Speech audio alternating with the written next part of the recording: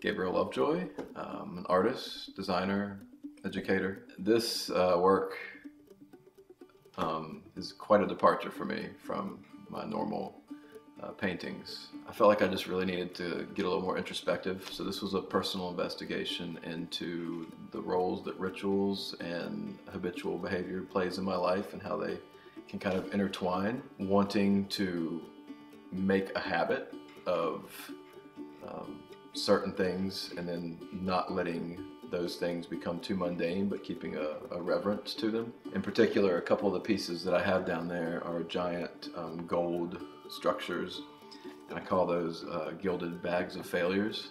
And so, if you think about the the you know the skeletal remains that are involved in those big bags of failures, um, they represent more than just the animal that once was. They also represent everything in life that you go through that once was. And as you evolve through your journey here on this earth, um, the things that take place that you lose, and then remembering those and, and tying some sort of importance to them.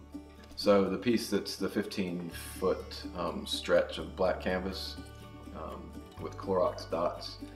I was just remembering when I was a, a, teenager, I used to write band names and things on my on my Converse shoes with Clorox. And so I've been doing these dots and dot pieces for a long time now, and I always incorporate dots into my work. And so I decided I would get this 15 foot stretch of canvas and make this more of a meditative process.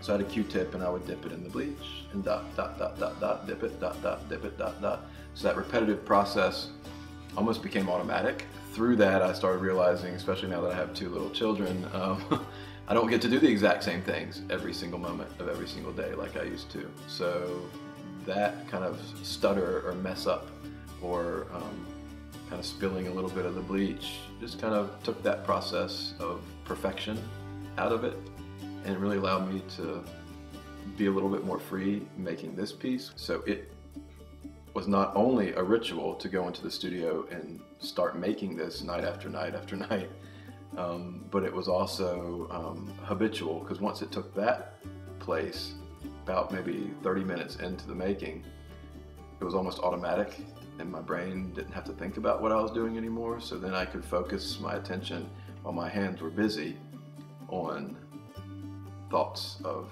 of you know, God and self and the whole nine yards.